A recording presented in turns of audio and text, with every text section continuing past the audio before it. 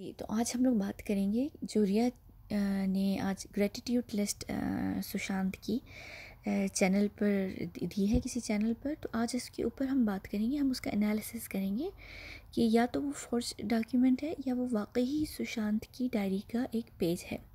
तो चले मैं आपको सबसे पहले साइड बाय साइड दिखाती हूँ। ठीक है, ये वाली, ये वाला जो पेपर है, ये सुशांत का अपना है, ये उनके इंस्टाग्राम पे भी है और उनके ट्विटर पे भी है। ये वो ग्रेटिट्यूड लिस्ट है जो रिया ने किसी को मेरे ख्याल से टीवी चैनल पर दिए ये क्या हुआ है, खैर ये वो है। तो सबसे पहले इस ग्रेटिट्यूड लिस्ट की हैंड राइटिंग और इसकी हैंड राइटिंग को अगर आप देखें तो कहीं से आपको लगता है कि ये दोनों हैंड राइटिंग्स सेम हैं, किसी एक बंदे की हैं? या ये कि, यानी अगर आपको लग रहा है अगर मुझसे पूछें और मैं ये दोनों देखूँ तो मैं ये सबसे पहले देख के कहूँगी कि ये दो अलग लोगों की हैं। ये किसी भी तरीके से एक दूसरे से नहीं मिल रही हैं। ठीक है? तो सबसे पहली बात तो ये हो गई। अब हम चलते हैं।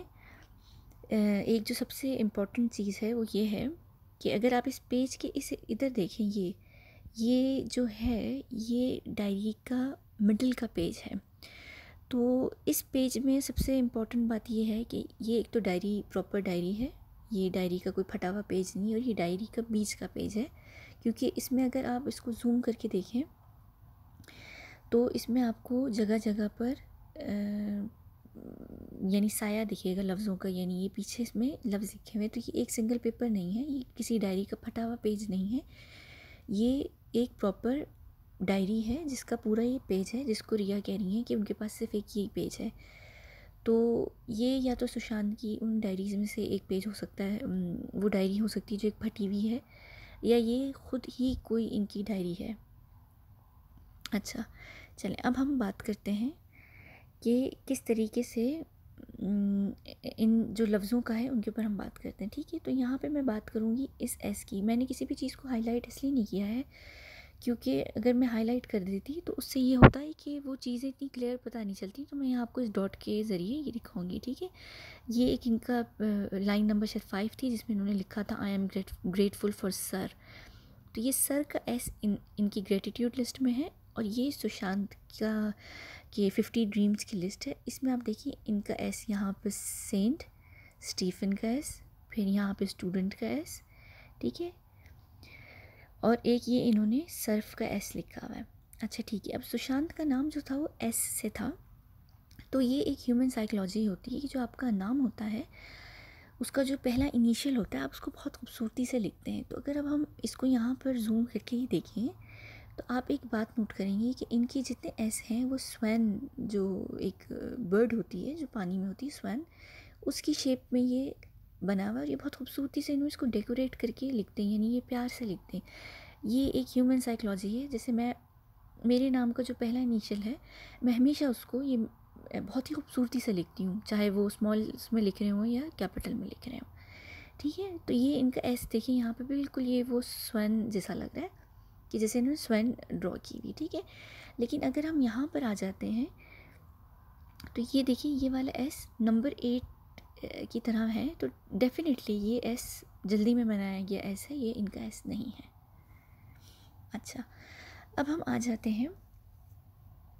यहाँ पर आ, ये एम देखिए आप ये इनका एम है और ये एक एम है जिसमें इन्होंने लिखा I am grateful for ma'am in my life जो ये रिया की मॉम को मैम कह रहे हैं। इसका एम देखिए अगर आप तो इसको अगर हम जूम करते हैं ये हमने इसको जूम किया और आप देखिए ये एम यहाँ से इतना लेके वन यानी क्वार्टर यानी टू थर्ड पे यहाँ पे ये दोबारा, इस पे दोबारा लाइन फेरी गई है। यानी इसको सही करने के लिए दोबारा लाइन यहाँ तक फेरी गई है और ये एक आर्च है जो इनकी यहाँ पर होती है।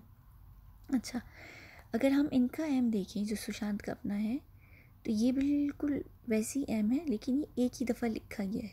इसको, इसके ऊपर री राइट नहीं किया हुआ।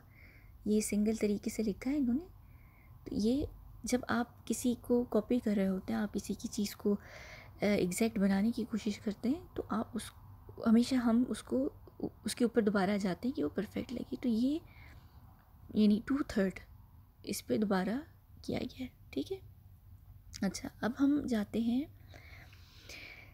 अम, हम्म, अच्छा अब हम देखें। ये इनका एक प्लेन पेज है जिस पे डेट का हालाँकि पेज पे लिखा हुआ भी नहीं है, फिर भी इनको हमेशा से आदत रही थी कि ये डेट लिखते थे।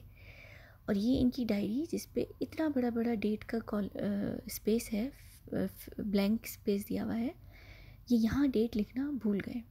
ठीक है? जबकि यहाँ जहाँ डेट का लिखा हुआ भी नहीं है, फिर भी इन्होंने डेट डालना नहीं भूले, ये इनकी आदत थी तो ये डेट ज़रूर डाला करते थे। लेकिन यहाँ पे आप ये नहीं देख रहे हैं? यानी यहाँ पे इन्होंने डेट लिखा हुआ है, फिर भी ये ब्लैंक स्पेस इन्होंने छोड़ दिया है कि इन्होंने डेट नहीं लिखी। जबकि ये अपनी इनकी डायरी है और जब इंसान ये ग्रेटफुल या ग्रेटिट्यूड लिस्ट बनाता है तो ये बंदा रिलैक्स होता है, आराम से होता है तो वो हर चीज़ लिखता है, हर चीज़ फिल करता है, क्योंकि वो आराम से लिख रहा होता है, ठीक है ना? तो ये ग्रेट ये यहाँ डेट लिखना भूल गए, जबकि ये इन्होंने यहाँ पर डेट फिर भी लिखी, जबकि यहाँ डेट की ज़रूरत नहीं थी। अच्छा अब हम बात करते हैं इंडेंटेशन की, जिसको हम एक फॉरेंसिक लैंग्वेज में कहते हैं। जब हम किसी चीज़ को बहुत प्रेशर दे के लिखते हैं ना तो हमारे पेपर्स में एक इंडेंटेशन आ जाती हैं। देखिए, एक यहाँ पर अगर हम इसको जूम करें तो सबसे पहले तो ये बहुत ही क्लियर इंडेंटेशन है। इनके सारे पेज पे ये देखिए आप, ये डू का डी है वाई और एम है यहाँ पे मैटर यहाँ बी है बोथ और ये एस है आई है। तो ये इनके किसी पहले का पेज, इससे पहले जो पेज था उस पर जो ये लिख रहे होंगे, ये इतने प्रेशर से लिखते हैं भी प्रेशर से लिखा करते थे अपने पेन से या पेंसिल से किसी भी चीज़ से कि वो उसके इंडेंटेशन दूसरे पेज पे भी पड़ जाते हैं। ठीक है? ये एक इनका ये था। फिर ये ये वाला एक पेज इनका हम देख लेते हैं। ठीक है? इस पर भी ये मेरा ख्याल से गेम कोडिंग उतार थे। ये अगर इसको आप पूरी तस्वीर को गौर से देखें तो ये यहाँ पे इनका ये लैपटॉप होगा मेरे ख्याल से, ठीक है? तो ये गेम कोडिंग सुशांत कर रहे थे। तो अगर आप इसमें भी गौर करें, ये इन्होंने अगर यानी आप ये देख रहे हैं पेजेस यहाँ से उठे हुए हैं। जब हम किसी भी जगह पे पेन से या पेंसिल से ज़ोर से लिखते हैं तो वो इंडेंटेशन हो जाती है, यानी वो गढ़ से जाता है पेज ठीक है ना? तो ये पेज में खड्डे पड़े हुए इनके, आप कह लें। इसे हम फॉरेंसिक में इंडेंटेशंस कहते हैं। और ये हैवी प्रेशर इंडेंटेशन है। थ्री टाइप इंडेंटेशन होती है। एक हैवी होती है, एक मीडियम होती है और एक लो इंडेंटेशन होती है, ठीक है? तो अगर आप देखें, जैसे ये पेज भी है तो इस पेज में भी नीचे इन्होंने यहाँ पर इंडेंटेशन है इनकी, ठीक है? अच्छा अब हम आ जाते हैं इस पेज पे जो ये ग्रेटिट्यूड लिस्ट है। अगर आप इसको देखें इसमें कहीं पे भी इंडेंटेशन नहीं है। ये बहुत केयरफुली लिखा हुआ है। इतनी केयरफुली ये लिखा हुआ है कि इस पर यानी कोई इम्प्रेशन भी नहीं है। ना थम यानी ना इंडेंटेशन है, ना कोई इम्प्रेशन है, ना पेज जैसे उठ जाता है जब आप लिखते हैं, ना वो उठा हुआ है। ये बहुत केयरफुली लिखा गया है एक एहतियात से। क्योंकि देखिए, एक नेचुरल इंसान की हैबिट होती है। जब हमें होता है कि हम कोई चीज़ देख के लिख रहे होते हैं सोच समझ के लिख रहे होते हैं तो हम बहुत ध्यान से सोच सोच के लिखते हैं। हम उसको जल्दी जल्दी में नहीं लिखते कि ख़राब ना हो जाए। तो क्योंकि ये यहाँ पे कॉपी की जा रही थी उनकी हैंड राइटिंग और उनकी इस हैंड राइटिंग को कॉपी करने के लिए उन्होंने तरीके से लिखा है। जबकि एक इंसान जब वो अपने एक फ़्लो में लिख रहा होता है तो वो उसको फ़िक्र नहीं होती है, वो लिखता है। ये यहाँ पे क्योंकि कॉपी की गई है तो ये एक भी इंडेंटेशन इस पर नहीं है। तो ये सबसे बड़ी चीज़ जो है, अपने आप में है और एक और बात कही जाती है हमेशा कि जैसे हमारे फिंगरप्रिंट्स अपने यूनिक होते हैं, इसी तरह हमारी हैंड राइटिंग यूनिक होती है। चाहे हम क्या कहते हैं ट्विन सी क्यों ना हो, लेकिन हैंड राइटिंग हमेशा जो है, अलग होती है। हर किसी की यूनिक होती है, आप उसको कभी भी कॉपी नहीं कर पाते, ठीक है? कि यहाँ पे मैंने स्नैपचैट पे इस पर स्नैपचैट पे इसका स्क्रीन मैं सोच लिख रही थी नोट बना रही थी। तो ये वो इंडेंटेशन के ऊपर बात लिखी थी मैंने I write with heavy pressure ये क्या साइकोलॉजी इसके पीछे क्या होती है? जो लोग इतने हैवी इंडेंटेशन इंडेंटेशन के साथ चीज़ें लिखते हैं। तो ठीक है ना, एक हैवी प्रेशर होता है, एक मीडियम होता है और एक लाइट होता है। तो ये यहाँ पे सिर्फ़ मैंने आप लोगों को इस वक्त हैवी प्रेशर के बारे में बता रही हूँ कि जो हैवी प्रेशर के साथ लोग लिखते हैं, उनकी जो नेचर होती है साइकोलॉजिक जी, वो ये होती है कि वो हर चीज़ में बहुत ज़्यादा एनर्जी डालते हैं। जो भी वो करते हैं दूसरे लोगों के कंपैरिजन में। और वो इमोशनल फीलिंग्स जो होती हैं, उनकी हमेशा लंबे अरसे तक रहती हैं। जो बाकी मीडियम के होते हैं, उनकी जो होती हैं, वो एक एवरेज एनर्जी चीज़ों में डालते हैं और उनकी इमोशनल फीलिंग भी जो है, एक एक नॉर्मल लिमिट तक चलती हैं। और फिर एक आ जाते हैं लाइट एवरेज लाइट प्रेशर वाले। उनकी साइकोलॉजी ऐसी होती है कि वो कुछ भी करना पसंद नहीं करते हैं, उनकी इमोशनल फीलिंग्स भी नहीं रहती हैं वो फ्लूक होता है। ठीक है? चलें अब हम बढ़ते हैं। यहाँ पर आ, ये एक और है ये मुझे सब भेज रहे थे और बोल रहे थे कि इनके नंबर्स को मैं ज़रूर देखूँ। तो देखें ये सुशांत की डायरी ड्रीम्स वाला पेज है और ये वो ग्रेटिट्यूड लिस्ट का पेज है जो रिया ने दिया है। ठीक है इस पर अगर हम इसको हम इन नंबर्स को देखें तो सुशांत जो थे सर्कल नहीं किया करते नंबर को। एक जगह उन्होंने सर्कल किया हुआ है, वो पेज में भी आप लोगों को दिखाती हूँ। उन्होंने उस, उसमें सर्कल ज़रूर किया और सर्कल को भी अभी हम डिस्कस करेंगे। लेकिन हमेशा वो नंबर्स ऐसे लिखा करते थे खुले तरीके से। ठीक है? अब यहाँ अगर आप इनका ये सेवन देखें, ये बड़ी खूबसूरती से, बड़ा क्लीन और क्लियर सेवन है। और ये सेवन सेवन ही नहीं लग रहा है, बहुत ही तेज़ी में सेवन है। इसी तरह अगर हम ये फ़ाइव देखें तो सुशांत हमेशा फ़ाइव जब लिखा करते थे तो जो उनकी फ़ाइव की जो लाइन होती थी ये हमेशा स्ट्रेट और क्लीन होती थी। और यहाँ देखिए ये बिल्कुल एस की शक्ल में बना हुआ है। ठीक है? अच्छा दूसरा सुशांत एक और चीज़ किया करते थे आ, अपने जो नंबर्स डालते थे उसके बाद ये एक फिंगर का स्पेस दे के और फिर स्टार्ट करते थे। अपनी, जो भी उन्होंने लिखना होता था। ठीक है अच्छा अब मैं एक और बात करती हूँ नंबर्स की, क्योंकि हम, मैं सर्कल की बात कर रही थी तो कोई कहेगा कि वो सर्कल भी डाला करते थे, वो बहुत कम डालते थे, लेकिन अब हम इन सर्कल्स ही देखें कि यहाँ पे एक सर्कल है, ये वो ग्रेटिट्यूड लिस्ट के सर्कल्स हैं, और ये वो सर्कल्स हैं, जो सुशांत के हैं, ये इनका मॉर्निंग मॉर्निंग रूटीन है तो ये उनकी मॉर्निंग रूटीन की सर्कल्स हैं। अगर अब हम इसको जूम करते हैं तो मैं आपको एक चीज़ बताती हूँ। देखें, इनके जितने सर्कल्स हैं, वो एक तो बहुत राउंड सर्कल्स हैं और ये सारे एलोंगेटेड यानी कि लंबे सर्कल्स हैं, लंबे बनाए हुए और ये सारे सर्कल्स जो हैं एकदम स्मॉल और राउंड ज़्यादा हैं। और इनमें कोई भी राउंड सर्कल नहीं है, ये अपने आप में एलोंगेटेड है। अब अगर हम इनकी क्लोजिंग की बात करते हैं, ये जो मुँह है इन सर्कल्स के, जो क्लोज हुए हैं, ये हार्ट शेप में क्लोज हुआ हुआ है, ये ओवरलैप हुआ हुआ है इसके बीच में गैप है, ये हार्ट शेप में है, ये एक दूसरे से एक्स की शेप में है, ये खुला हुआ है। लेकिन अगर हम सुशांत की क्लोजिंग्स देखें, इनके सर्कल्स के तो ये सारे जो हैं, ये ऑलमोस्ट नंबर फाइव की तरह हैं क्लोजिंग में, सारे के सारे।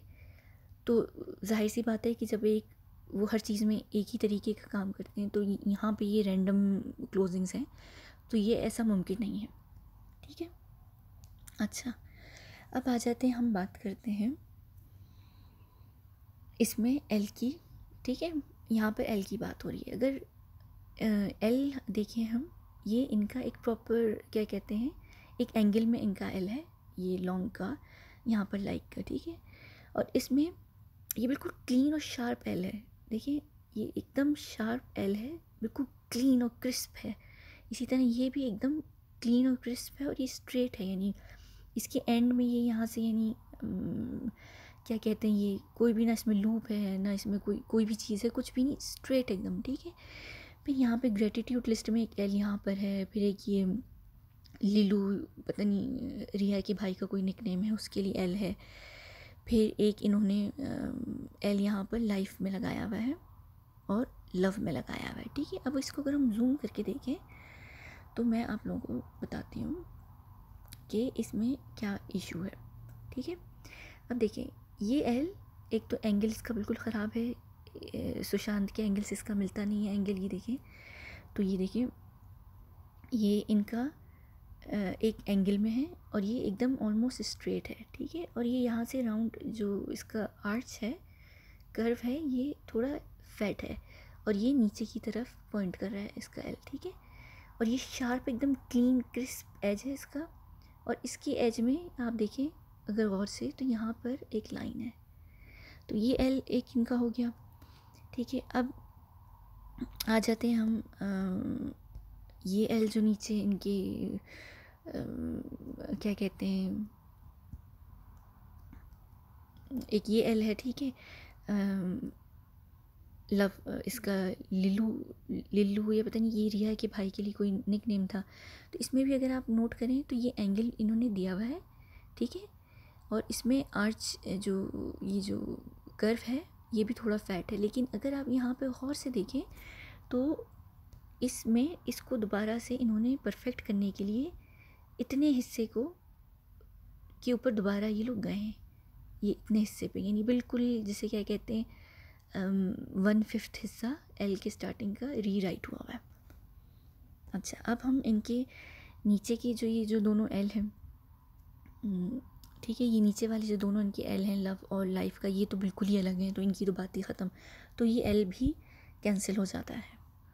अच्छा अब जो एक और बहुत चीज़ है मेरे जहन आई है ये है बेबो या बीबू, मुझे नहीं पता इसको कैसे वो बोलते थे। ये इनके बी हैं, ये सुशांत की पेजेस हैं। ये सुशांत के बीज हैं यहाँ पे। ये इनका ब्लू का भी है बेड टाइम का है, फिर ये बीट्स का है। एक ये बी है और एक ये भी है, ठीक है। तो ये बी जो है, किसी भी तरह से नहीं मिलता। देखें, अगर आप लोग ये देखें ये सारे इनके जो बीज हैं, वो खुले होते थे सवाए इस बी को लेके। ये थोड़ा सा बिल्कुल आखिर से खुला हुआ है और ये भी थोड़ा सा खुला हुआ है। तो अब आप लोग कहेंगे कि ये दोनों बी सेम हो सकते हैं। ठीक है ना? क्योंकि इंसान की ह्यूमन नेचर है, हम लोगों की, कि हम हमेशा जो है अल्फ़ाबेट्स को बहुत सारे उसमें लिखते हैं पैटर्न में हम एक पैटर्न में नहीं लिख पाते हैं। ठीक है? तो लेकिन एक बात अगर आप लोग यहाँ गौर से देखें तो ये जो है थ्री की शक्ल में है और ये क्लीन एज है इसकी कट है। क्लीन कट है, इसका खुला हुआ है लेकिन कट है। ये भी अगर आप देखें और इसका ये हिस्सा, ये देखें, ये अंदर की तरफ़ जाके मुड़ रहा है, अंदर की तरफ़। ये देखें, ये अंदर की तरफ़ मुड़ के यहाँ पे एंड हो रहा है, जबकि ये बिल्कुल क्लीन है और यहाँ ख़त्म हो रहा है। सही, इनकी कोई भी चीज़ अंदर की तरफ़ नहीं मुड़ी होती एकदम क्लीन है। बाकी जो सारे इनके बीज हैं, वो तो बिल्कुल ही क्या कहते हैं नहीं मिल रहे, ना इसका है, ना ये वाला बी इस बी से मिल रहा है। ये तो खैर बिल्कुल ही मुख्तलिफ़ है। ये वाला बी और ये बी मिल सकता है और ये, यही बी को लेके कोशिश की गई है, लेकिन ये बी और इस बी में बहुत फ़र्क है। और एक और बात यहाँ पर अगर आप लोग इसको मैं जूम करके आप लोगों को दिखा दूँ तो इस इसमें फिर पूरे हाफ़ तक, यानी क्या कहते हैं, पूरा फिफ्टी परसेंट जो है ये इस पर री राइट हुआ हुआ है यानी इस पर दोबारा से पेंसिल्स को आ, सेट किया हुआ है। दोबारा इन्होंने इस पर पेन लगाया है इसको क्लीन करने के लिए यानी इसको एग्जैक्ट करने के लिए। तो जब आप किसी की चीज़ को कॉपी कर रहे होते हैं तभी ये काम होता है। अच्छा तो ये नंबर्स के ऊपर भी बात हो गई। अब ये एक आखिरी है मेरे पास जिस पे मुझे बात करनी है। ये पॉइंट सिक्स और सेवन और ये ग्रेटिट्यूड लिस्ट का पॉइंट सिक्स और सेवन है, ये सुशांत का आता है, ये इनके फिफ्टी ड्रीम्स की लिस्ट है। तो ये ग्रेटिट्यूड लिस्ट में सिक्स और सेवन्थ में इतनी गंदी हैंड राइटिंग से लिखा गया है और बिल्कुल आते आते पॉइंट्स करते करते सिक्स और सेवन तेज़ी में लिखे गए हैं। आप लोगों को अंदाज़ा हो जाएगा अगर आप इसको फुल इमेज में देखेंगे। तो वो बहुत उन्होंने सारी कोशिश की है उनको ठीक ठीक लिखने में। आखिर में आते आते वो बिल्कुल भूल गए थे कि वो लोग किसी डॉक्यूमेंट को फॉर्ज कर रहे हैं या किसी की राइटिंग को बनाने की कोशिश कर रहे हैं। इसमें सेवन भी बिल्कुल गलत है एल बिल्कुल ही गए गुजरे हैं। अभी हमने जैसे डिस्कस किया है, ये सुशांत के एल से मिलते ही नहीं हैं। इनके एंगल भी ख़राब हैं, ये मुड़े हुए भी हैं, इनमें वो भी है और ये तेज़ी में लिखे हुए हैं।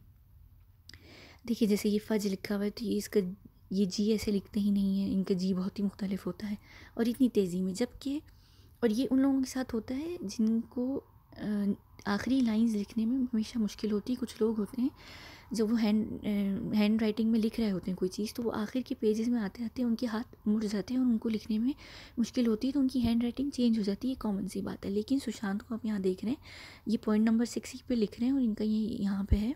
लेकिन इनके सिक्स और सेवन भी बिल्कुल एक जैसे हैं और बहुत क्लीन और क्रिस्प हैं।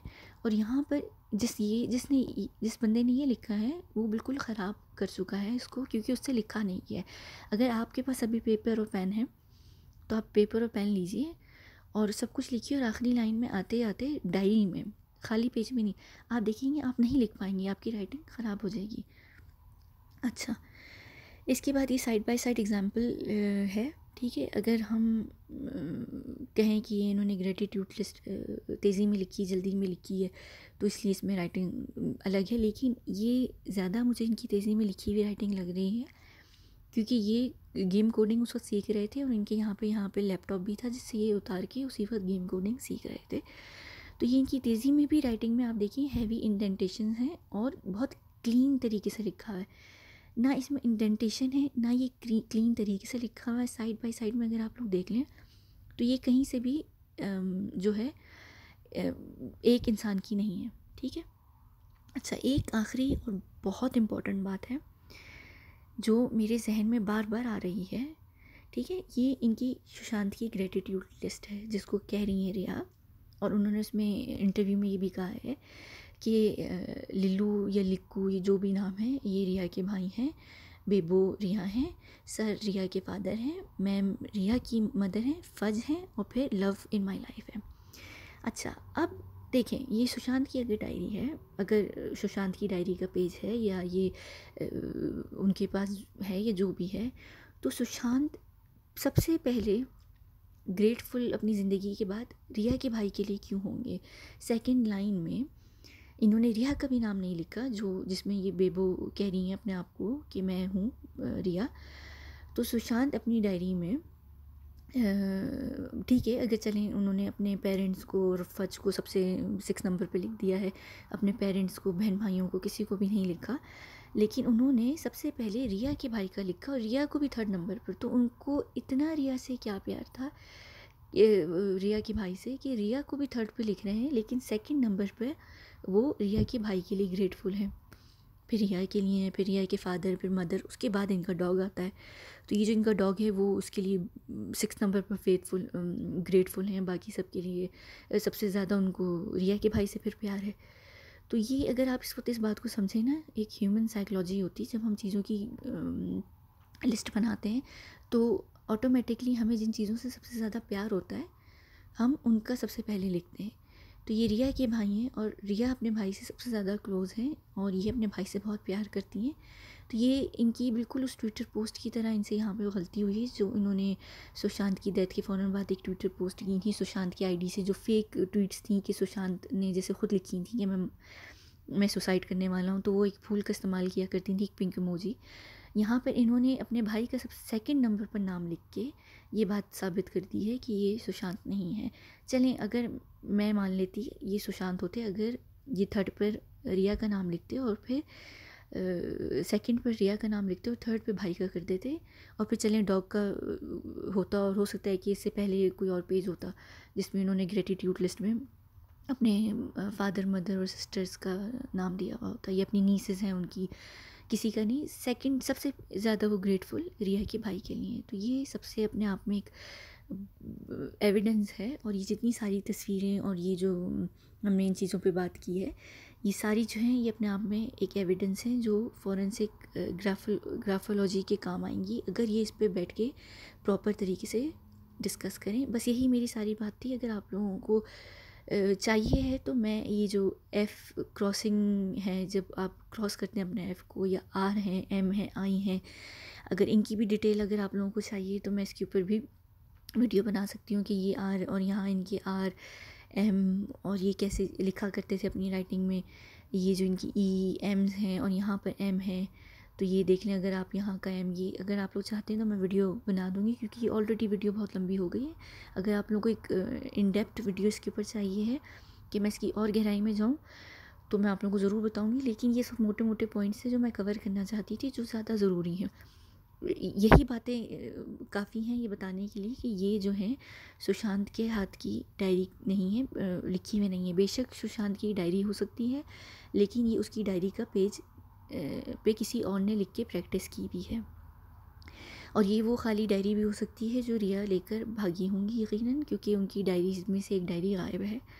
या फिर ये कोई और ही पेपर है, क्योंकि मैंने जितनी डायरीज़ देखी हैं, चाहे वो कोई चीज़ सीख रहे हों या फिर क्या कहते हैं, वो ड्रीम्स लिख रहे हों, ये वो हमेशा एक प्लेन पेपर पे लिखते थे। इवन कि उनका जो मॉर्निंग रूटीन है, यहाँ पर आप लोग देख सकते हैं, ये भी एक प्लेन पेपर पे है। अब पता नहीं ये इनकी डायरी है या ये कोई रैंडम चीज़ है।